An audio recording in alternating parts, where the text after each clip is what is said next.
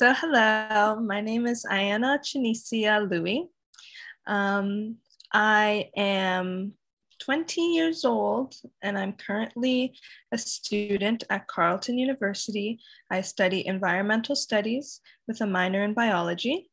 I have a strong passion for learning about the environment, um, advocating for the environment, and I would love to get to a point in my own personal knowledge and my own journey where I can refer to myself as a traditional herbal medicine teacher. One day I'll be able to call myself that. In the meantime, I'm a student. Uh, I also enjoy music and singing, and I hope one day I can also, um, as a career, uh, be a singer and music producer. I would also enjoy that lot. So I am Ojibwe, and um, my community is on Manitoulin Island. It's called M'Chigeeng First Nation, and that's where my mother's side of the family comes from. My father's side comes from the Caribbean, uh, from Barbados. And my grandmother on my father's side moved to Canada in the 1960s um, by boat and she was a nurse for many, many, many years. And um, somehow, throughout all of that journey across um, from the Caribbean to M'Chigeeng First Nation, my mother and father met, and here I am speaking to you today. That's me. Nice. Thanks, Aiyana. Mm-hmm. Can you tell us um, how you've come to know who you are? Like, how do you know who you are as being Ojibwe and as being from the and having family and being from the Caribbean? So that's a question that I still ask myself to this day. Um, I've only had 20 years on this planet, and that's a lot, but not enough to fully answer that question yet. Um, but some things that have helped me become more grounded in who I am as a person is um, through asking my family questions about their ancestors, who came before them, and how they got to where they are now on both sides of my family, um, as well as engaging in conversation with um, other young Native people, other young Black people, um, other people from different ethnicities as well that are around my age and how they identify with themselves um, and as well as a lot of introspection, um, a lot of just asking myself, you know, what do I enjoy? What do I know? What do I want to learn more about? How do I express myself?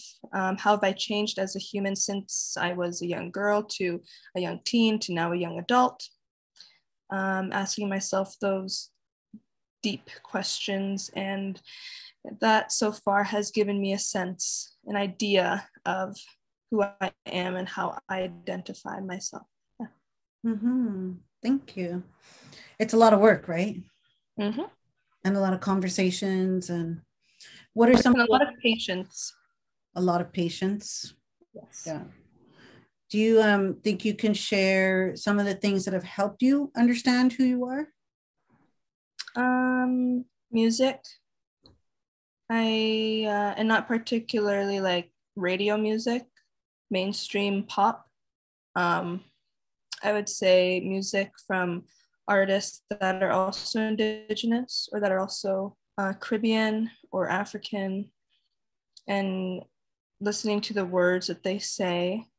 Um, books reading has definitely helped. I purchased a book called Anishinaabe 101 from a small business in Pembroke and uh, it just basically is a very very brief reading about um, the traditions and cultures of the Anishinaabe people and their knowledge. Very very brief. Once again, you can't fit all of that knowledge into one small book. So um, reading about that has helped me as well. Um, engaging in cultural activities, um, such as I remember the first time I think the proper term is is it dequilled a porcupine or quilled a porcupine? Is it dequilled a porcupine? Mm. Anyways, taking the the sharp pokey things from a porcupine and um, eventually using that to make art and earrings and jewelry and other things that you want to use it for um, that was really eye-opening i did that in the youth ambassadors program which was a program for young indigenous people um, in Man- on manitoulin island it was a summer program and it was filled with cultural activities um, as well as like learning about soft skills and hard skills that we can bring to the workforce. But that program really helped me um, engage in cultural activities that I wouldn't have been able to engage with otherwise because um, there wasn't as many opportunities like that in the city where I grew up in, which is Sudbury, Ontario. Um, nonetheless, though, I think engaging in those activities at a young age was a very good time to because that's when you know your mind's developing and not that it finishes developing at 20 years old i'm still going but um, just being introduced to that um, alongside other young native people really gave me a sense of identity and a sense of place. And like i felt more connected to my community than i did before. And i still had like i still participated in cultural activities as a child but um, not so much with other people my age. It was mainly just with older family members. So to do that with other young people was it really helped me in finding out who i was who i am mm-hmm. yeah absolutely when those things are available to us and there's opportunities especially with your like you were saying with your own age group right mm-hmm. um, what are some of the really important things you think that you took from because you mentioned the Anishinaabeg Youth Ambassadors Program um, and how that really helped you. So, is there um, some other things that you can talk about from that program that really made you kind of look at it and go, "Oh, this is who I am. Like this is really speaking to me." Um, one of the things I really enjoyed was helping make the lodge that is still there today at um, the location of the program. Um, being a part of that was hard work and uh, it required a lot of teamwork. So everyone was working on something different all at the same time. Um, whether it was like sewing the the bark or even or like going on to the structure and like placing it on um, on the like it was. Everyone had a job to do, and being able to like be a part of that was a really grand experience. And I'm happy that when I go back to M'Chigeeng and I go back to that lodge, I like see myself not only like in the lodge, but as the lodge itself. Like I feel like I am that lodge when I look at it.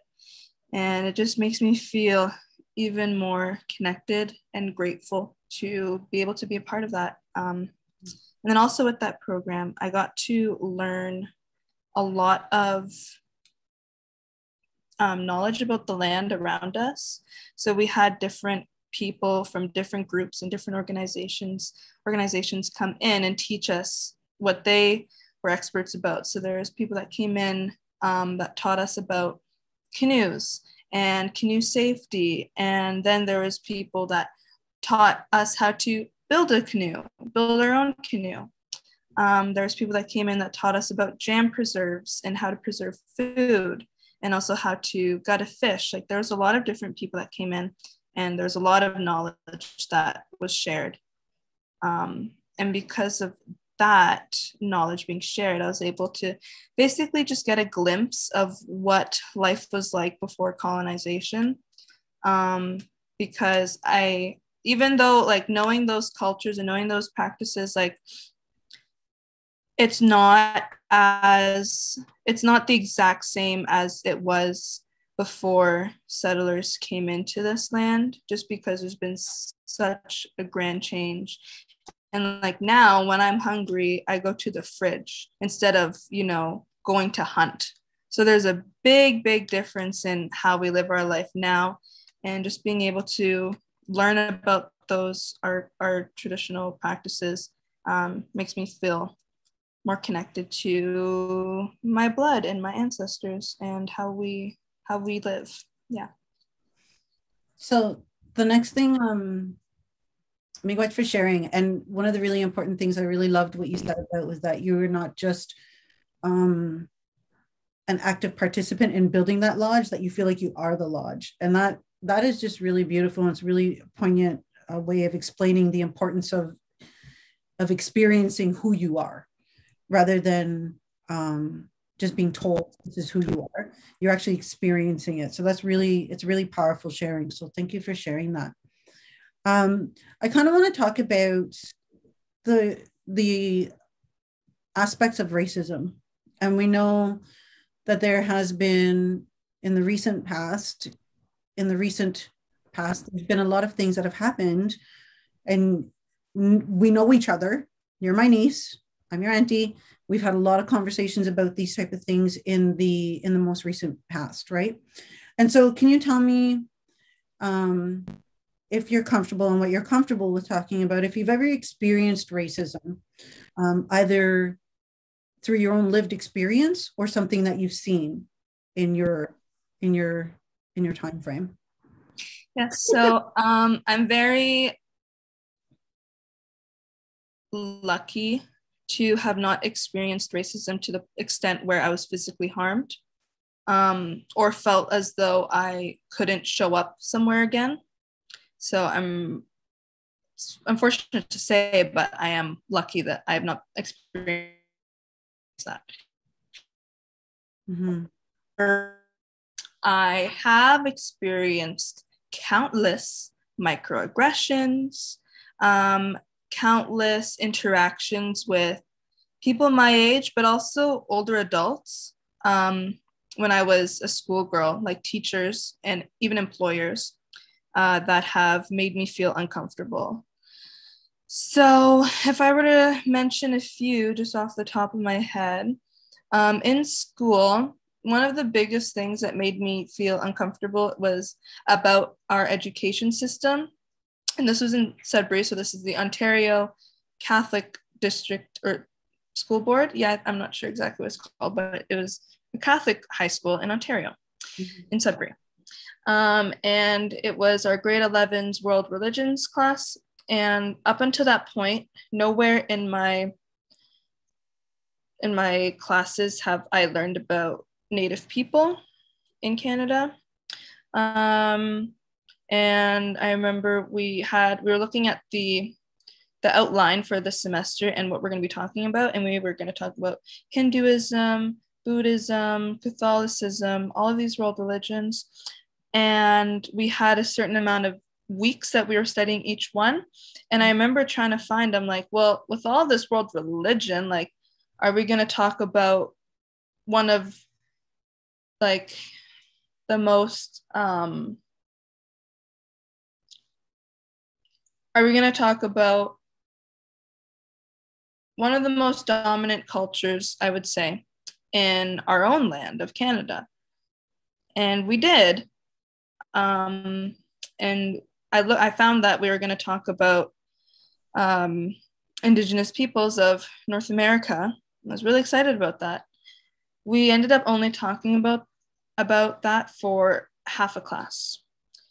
And then that was the last time I heard about it and I was very um, I felt cheated. Like I felt like we didn't matter. I felt like I didn't matter. Um,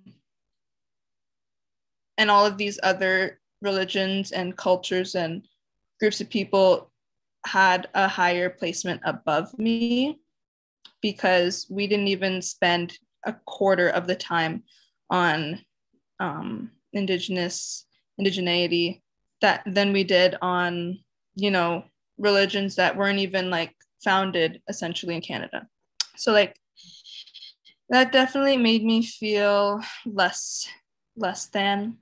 Um and I sh- sometimes I look back on it in high school and I regret not speaking up. But at the same time you know I was a different person and back then I can't hold that regret. So I let that go um, but yeah, that was like one of the one a big thing that really made me feel crappy because we didn't even talk about it. It was basically just like a few conversations read on, not conversations, a few slides shown in class about Native people in Canada, and then it was on to the next topic. Um, so that was one thing that was really frustrating in my educational system. Um, another was just like and the thing is, I used to be very frustrated about this, but I also recognize that in high school, everyone's still a kid, and I can't necessarily like blame other kids for not knowing. But just like utter disrespect for my hair, like 100%. It's hair that is not seen by as not as common because in Sudbury it's mainly white people. In a Catholic schools in Sudbury, it's like 99% white people um, who haven't been exposed to other cultures. Like, I'm sure if I went to a high school in Toronto, I would have had a much different experience. Um, but yes, yeah, so just like disrespect from teachers and um, other students for my hair, touching it when I they didn't ask, or even um, making comments about it that weren't necessary definitely made me feel ashamed my hair and how I choose to wear it and how I choose to express myself. Uh, I held on to that shame for a long time. And I think only now am I beginning to let it go. Um, another thing is at school, um, because I look I find that when that my look, like how I physically look like, pertains more to how you would envision like a stereotypical mixed black girl. Um, but when people see me, I don't think that they see that I'm also native as well, and they just assume that I'm black mixed with white. Um, so there was a lot of disbelief from teachers and students that I was native uh, it was like I had to prove myself by showing my status card. And um, I wish I understood the like how unnecessary that was at the time. But once again, I was like 15, 14. I didn't know. Um, but now I know that I will never argue with anyone else about who I am because I know who I am. They don't. So yes, there's just like a lot, a general um, disbelief that I was native, and when if I if I mentioned it, they would ask like how how native are you? Like going back to blood quantum. Mm-hmm. Um, so after like so that was a lot of what I experienced in high school at my high school, and uh, but I don't take any of it personally anymore because I recognize that I was also like I was young and the people I was talking to were young as well and they didn't know and a lot of times I didn't know either. So I don't take it personally. Mm-hmm. Yeah. What about um, observing racism around you? Have you observed acts of racism around you or in the media or I mean, we're so inundated with so many pieces of media now, like through phones and laptops, and and so we can access a lot of different things and a lot of different information all over. So, what about um, racism that you've observed? So, I've observed many acts of racism uh, so far in my lifetime. Um, growing up, I would watch my dad be racially profiled when um, the cops would stop him um, in public, uh, question him. Uh, my dad is a dark-skinned man. He's a pretty big man. He's pretty tall. He's he at least at the time he was pretty buff, and uh, so that was taken as a threat to a lot of white males, um, white females. Um, I didn't necessarily see other people of color questioning him the way that white people did. Um, so I can confidently say that the people that questioned him were definitely intimidated by him. uh, just because of his skin color, just because of his size, just because of how he expressed himself. He played hip hop music um, loudly in his car. So, uh, once again, all these stereotypes around him led uh, him to be racially profiled. And I would see that as a child. And I remember this one instance, um, he got pulled over in Sudbury. Um, I was in the back seat and the police car pulled him over asking you know like asking him questions basically uh, dancing around the, the idea that he may be a drug dealer um, and i just remember and i knew at the time when i was a kid like i didn't really understand the greater idea of racism but i knew why my dad was stopped because all of the police officers that stopped him were white not a single colored person ever stopped him so I saw that from a young age. Um, and then growing up on the media, tons of racism uh, on social media. I can't remember like specific specific times, but there's tons of it everywhere. Um, just in necessarily like in racism where you're calling someone um, like calling someone names uh, based on their race, but like just like lack of representation. Um, that has definitely led me to believe that Black people, Indigenous people, um, Mexican people, Indian people, anyone who is of a darker skin tone does not deserve to, you know, have a camera on them, doesn't deserve to be heard, listened to, admired. Um, so that led to a lot of internalized, what I would what I would call internalized racism. So I would believe that I wasn't enough because I was darker skin tone. And I would idolize people that were white and had long blonde hair and blue eyes. Um, and then, but since then, like that happened a lot when I was easily influenced as a child. Um, and I'm sure many other people that look like me uh, can relate to that. Um, as I got older, towards like a teenager, um, I, I started to notice a lot of racism aimed towards my brothers. And I think that there was a difference in our experiences because I'm a woman and because they're men. And however that works out in other people's minds, I don't know, but in my mind, I think that I got a bit less like I don't want to say like my racism was like less had a less effect on me because racism is racism all of it is wrong but i think like because they were men and they were black ma- males they were seen as more intimidating than a black female. I don't know.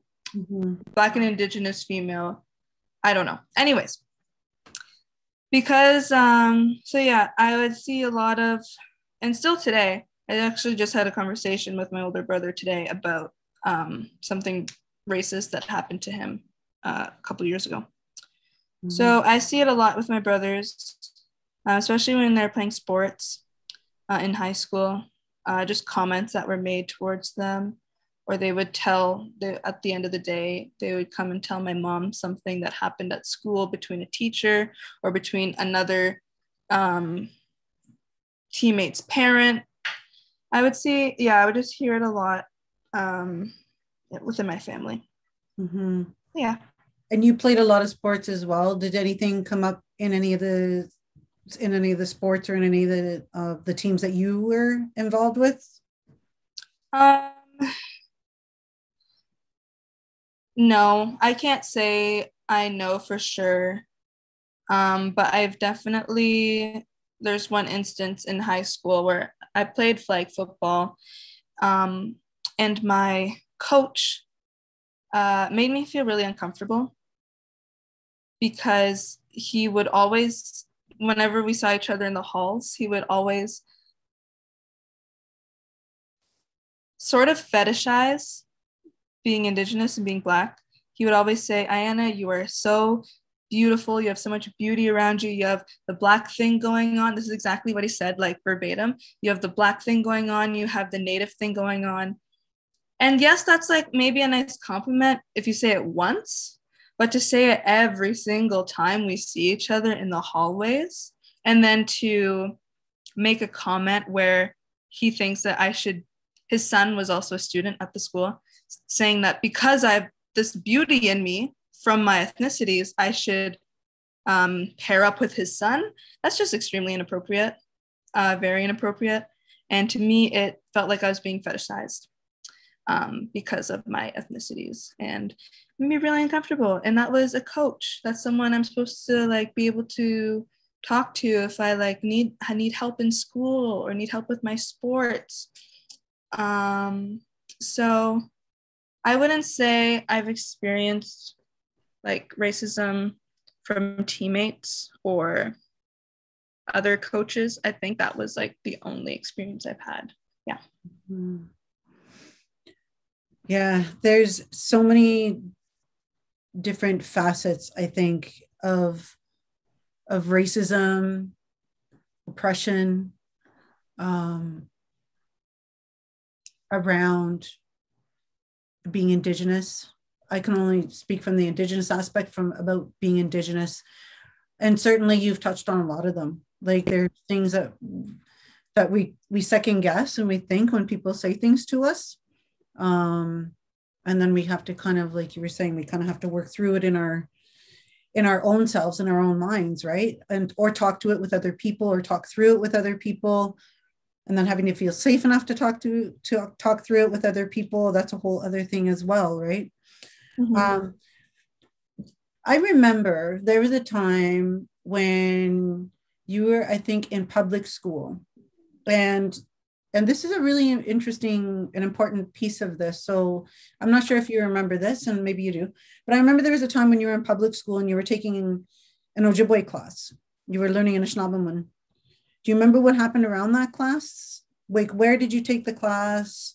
Um, what happened? How did you get to class? Those type of details, because maybe I think that there's something really important in that too, if I can remember it correctly.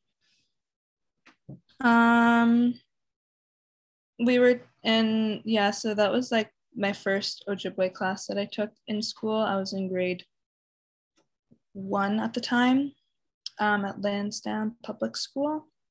And we were taken out of the people who registered to be in ojibwe class. Um, it had to happen during the school day obviously. So Oh, I think you main class Sorry, to go downstairs. oh, tell me when I'm back. You're back now. Okay, what was the last thing you heard? They can edit all that out. Um, you were in grade one. yeah. uh, and the people who registered for a Ojibwe class, they had to be taken out of their main classroom to go into a separate Ojibwe classroom and learn there um, and it would happen about twice a week. And I was taken out of my English class. That's an English class because I was a French student, and uh, I don't, I liked French, but like I didn't always. I really enjoyed my English time because then I got to speak fluently in English, so like I didn't have to worry about French. Anyways, that's the time of day that we were taken out to go down to Ojibwe class. And like in English class, we always had like books to read and there's a lot of like engagement with the class and i was always sad to be taken out at that time to go to Ojibwe class and it got to the point where i would say no to Ojibwe class because i wanted to stay in my main classroom but i didn't like at the same time i didn't like the fact that like i had to choose between the two. Um so that's that was my experience with going to Ojibwe class in grade one. Yeah and that's really important and especially important for um, schools, teachers, educators, the curriculum understandings, uh, and and how we and how we engage students in classroom and classroom time. Um, mm-hmm. So that's really important. So I really appreciate you sharing that part of it. And and I'm, I'm amazed that you remembered it. It was like grade one. I don't know. I don't know if I remember too much about grade one. So good on you for remembering that. Um, so what do you think, given the things that you have experienced, things that you've observed, things you talked about, what do you think that all Canadians need to know or all people in Ontario need to know to help fight um, racism?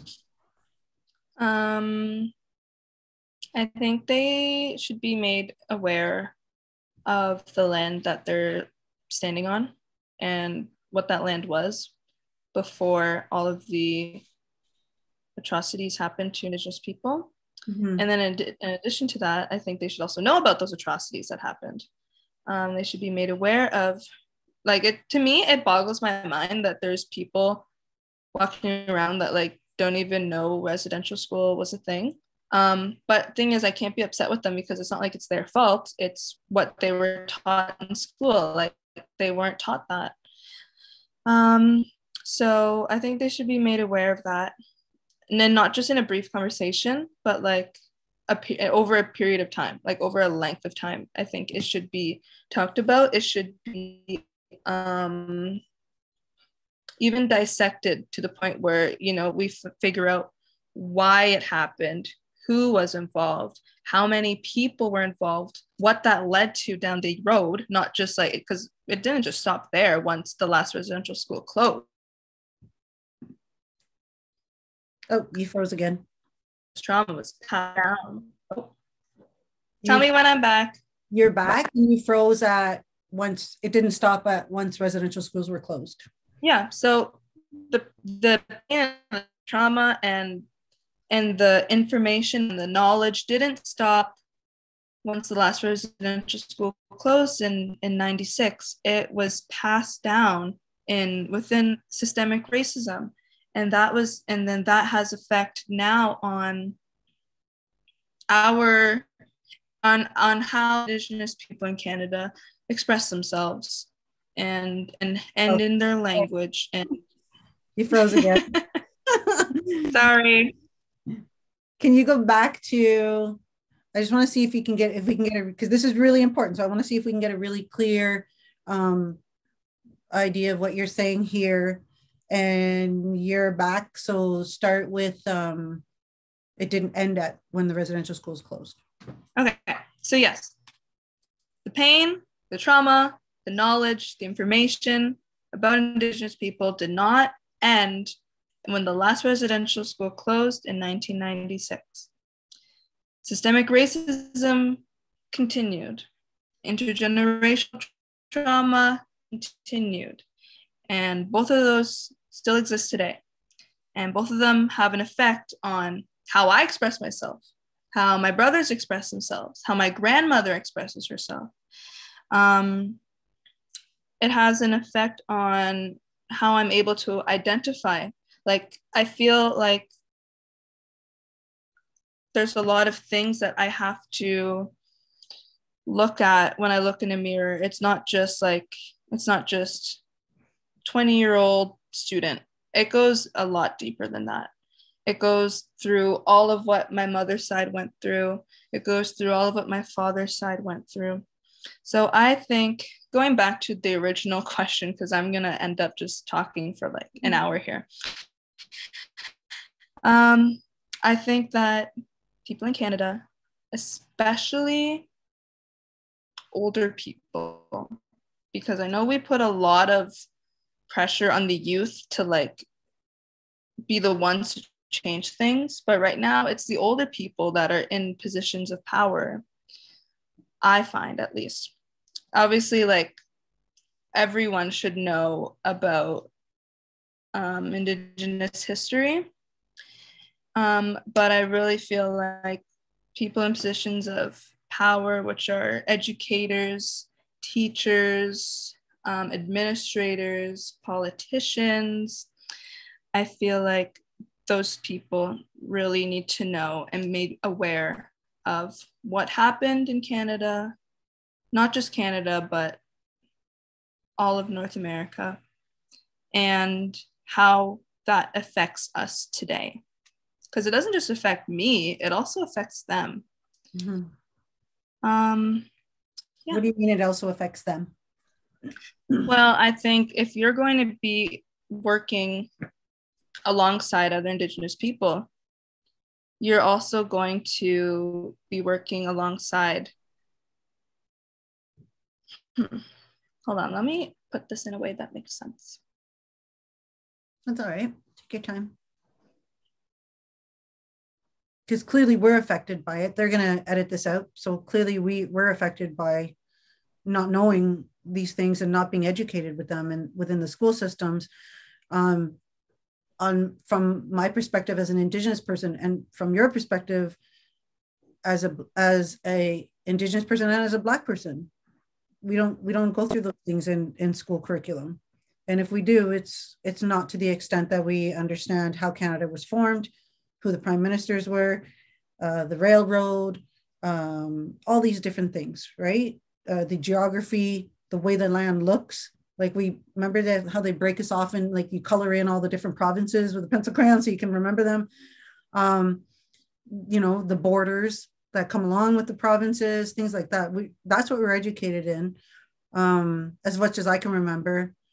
I don't remember Black history, and I don't, and I certainly do not, and I know I do not remember any Indigenous um, history or stories or Black stories or um, of that contributed to the place that we now know as Canada. Mm-hmm. Um, or even that we're still here, like, mm-hmm. or that we're a significant part of of that whole story of how this nation became through other nations that were already here, right? Um, so that's I think that's uh, so how is it you were going to talk about how it affects other people by not knowing those things. I just think like we're starting to see more diversity. We're starting to see more people of color in um, systems and areas where you wouldn't they wouldn't have necessarily been in in in in like in the past. Um and i think like it's inevitable that you're going to work with or go to school with or play with or be on a sports team with people of indigenous heritage. Um, and you're going to be like in the same areas of, as them as us. I don't know why I'm saying them as us. so I feel like if you want to be a friend, if if if you want if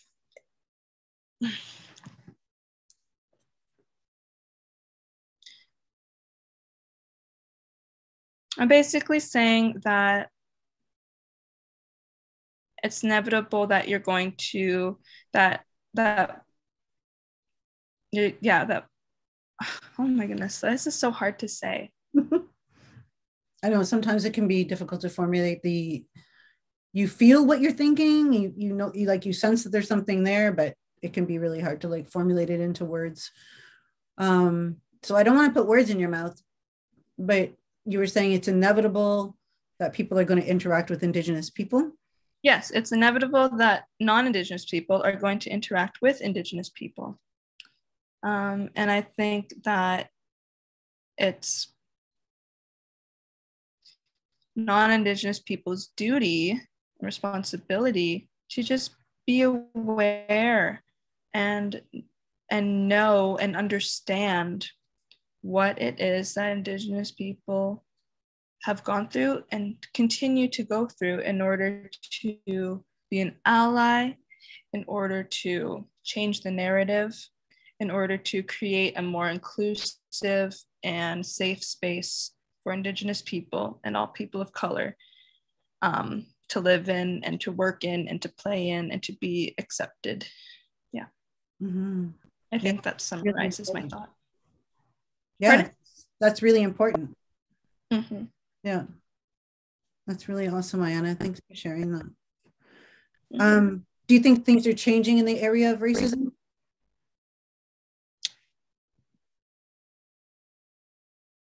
Hmm. Yes. Um, yeah, I would say that I've seen changes um, from when I was a kid to now. Uh, certain things just like I don't hear as often, like blatant um, discriminatory words, like just aren't said, at least around me, as much as they were when I was a child. Um, but I can't necessarily think of any other examples. No, that's okay. I definitely see it. Like, think I see more diversity. Mm-hmm. That's about it. What do you see in your in university that's different from public school in Oh terms yeah. of policy around racism or experiences around racism or uh, what what are they promoting? What are they not promoting? That type of thing. So one thing that I have been very happy to see, and I'm not sure if this is just for my program or if it's for other programs. I really hope it's for other programs.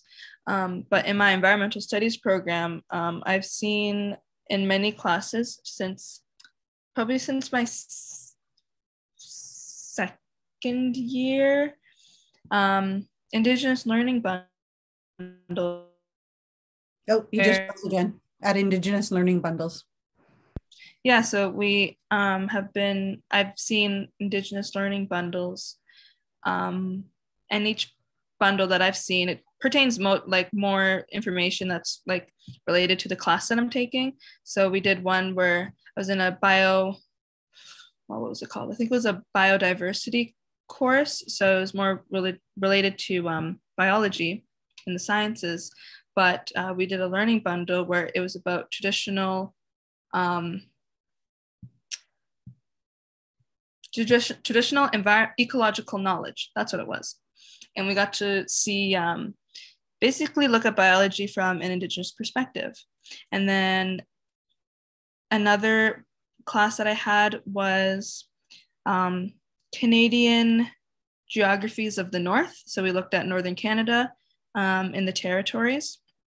And um, with that, we're we haven't opened it yet. It's actually our next project, but it's an Indigenous learning bundle on the geography of the of the north of Canada. Um, so I'm really excited to look into that. Uh, but so far, I've seen um, more of um, more inclusivity of Indigenous perspectives.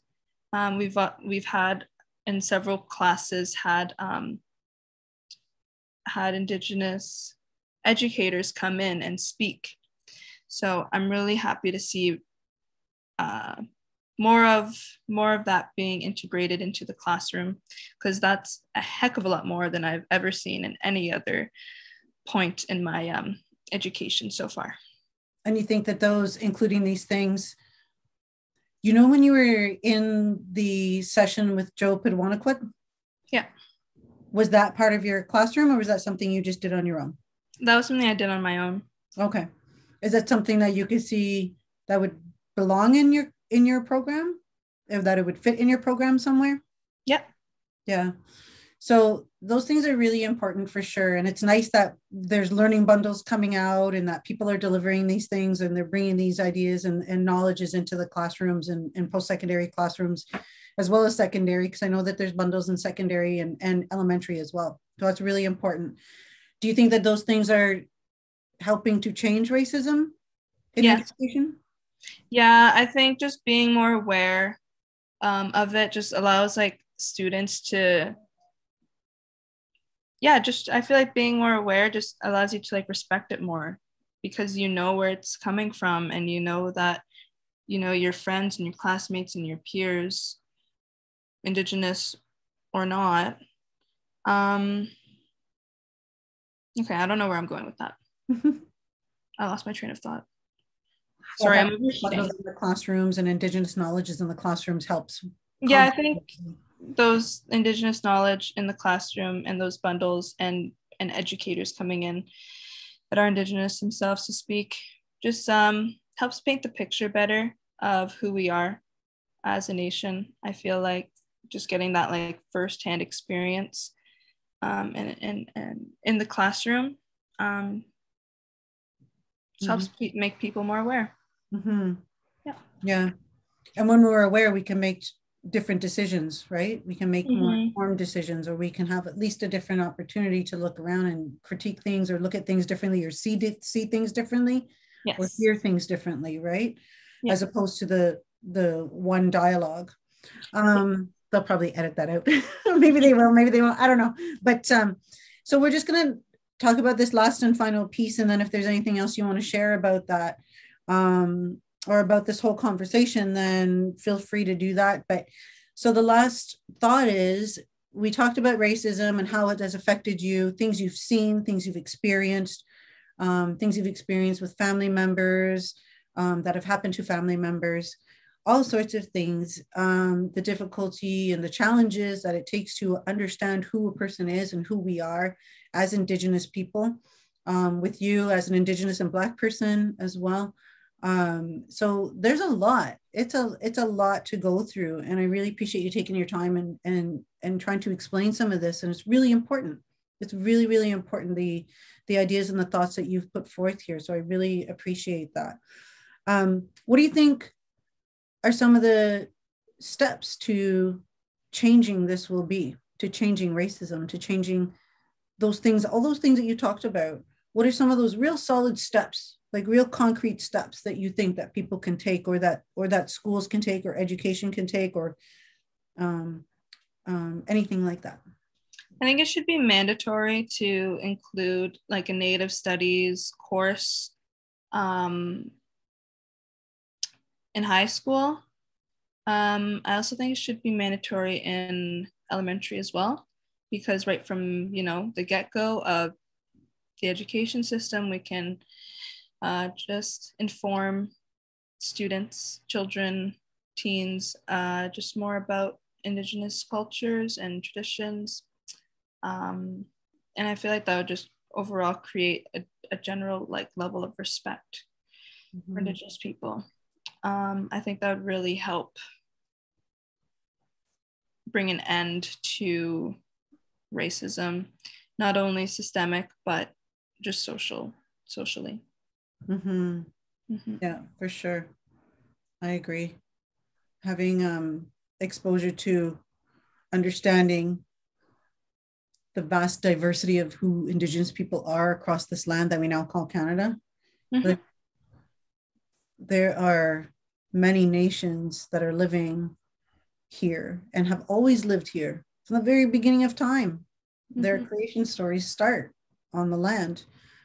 Um, and uh, and it includes the sky it includes the stars it includes the the the universe it includes the world underneath the land as well like all of these things combined within creation stories tell us and connect us to who we are and when we can stand firmly grounded in who we are we can then um, i would think i think as indigenous people when we stand firmly grounded in who we are then we can have these challenging conversations with other people. We can have these emotional or uh, conversations with other people or difficult conversations with other people and not um, and the it's it's about being informed right it's about being informed and then you can have those conversations based on fact and not on emotion right and i think that that's a big that's a big piece around this um, is having young people, like you said, having mandatory indigenous knowledges and education in in elementary schools is super important. Um, do you think it could be done within each classroom or within each subject? Yeah. Or do you think, uh, yeah, you think it could be done throughout each subject? So then it doesn't look like, oh, here's your indigenous education for the day, right? Mm-hmm. It's incorporated within yeah. you know yeah. Yeah. Every subject every day yeah. And then um and what do you think about at university? Do you think it's a mandatory thing? It should be mandatory at university? I think so too.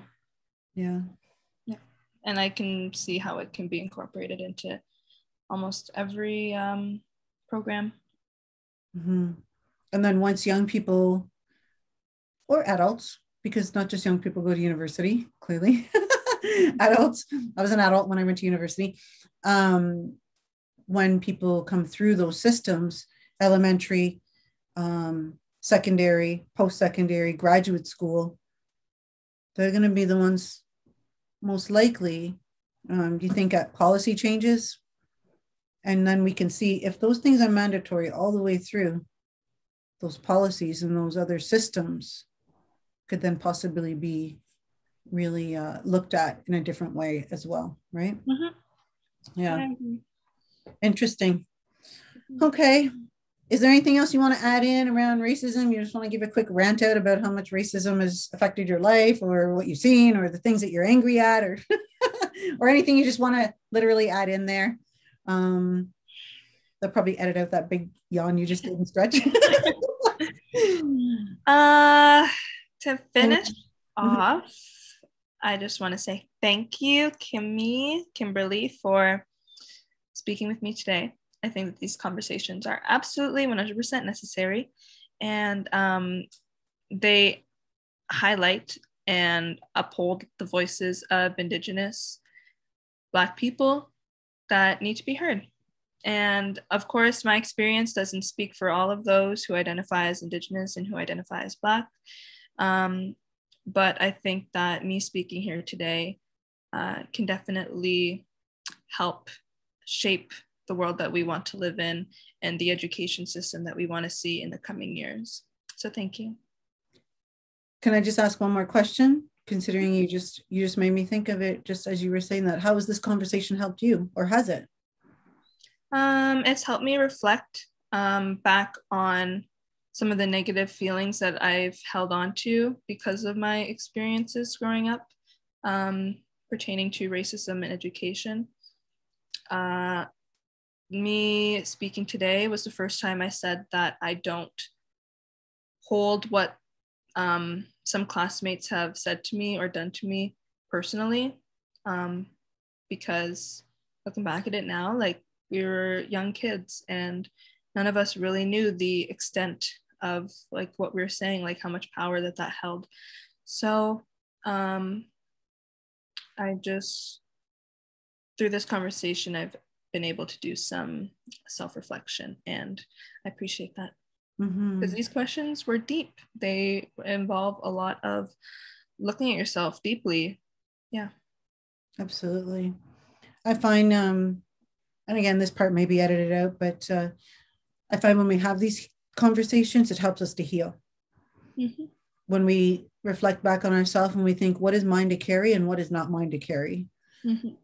What can I uh, do about it? Or is there, if there's anything I can do about it? And if there's not, then it doesn't we don't need to carry it mm-hmm. right um but i appreciate having these conversations too because it makes me really reflect on on on my life and my role and where i'm at and appreciate um, the people that i have around me that have had these conversations with me um, and that have supported me through it and it uh, helps me become like i'll go into school as a teacher the next day tomorrow like even different right um, a little bit more different, a little more aware, a little more thoughtful.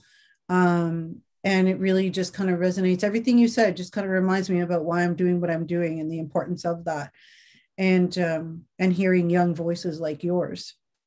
That hearing young voices like yours, um, you're being my niece aside, hearing young voices like yours gives me gives me hope that things are going to change as even more than what they are changing already. I've seen a lot of changes in the past, uh, um, you know, 30 years. I'm 50 now. So the past 30 years from when I was 20, when I was your age, I've seen a lot of changes happen. Um, but maybe the more that these things get implemented in our school systems, the more young people will have experiences that are different than ours. And they're going to have that on a continual basis, hopefully, um, the education and the knowledge through uh, through work that's being done like these videos and these conversations. Um, so that way they, they can change those systems. They can be part of those changes. Mm-hmm. The other thing that makes me think about these things is the fact that maybe you and I in our lifetime, we may not see the full extent of these conversations and changes that need to take place but the fact that we're part of them and putting them in motion is really important and really powerful. Like it's really it's uh it's really healing. And and i'm and i hope that you're really proud of yourself you know? And i say proud but i hope you feel good that um, you're at where you're at and you're thinking about these things. I'm really proud of you for being a young person already in this thought process because i wasn't there where you're at now. I wasn't there at 20 and uh, And it took me a little while longer to get there, but I'm really glad and grateful. I should say that. Glad and grateful um, that you're at where you're at and that you're thinking about these things and it's really important to you. And I know that's just going to push you further to understand them a little bit more and make those changes in the world and in your world at least anyway and and the world around us through mm-hmm. understanding these things in a different way and seeing things in a different way mm-hmm. and uh, so i'm really grateful for that. Thanks diana. Thank you. Thanks for hanging out with me and having these conversations. I really appreciate it. Yeah me too. It was a good talk tonight. Yeah. Bye mom p. Bye bye mom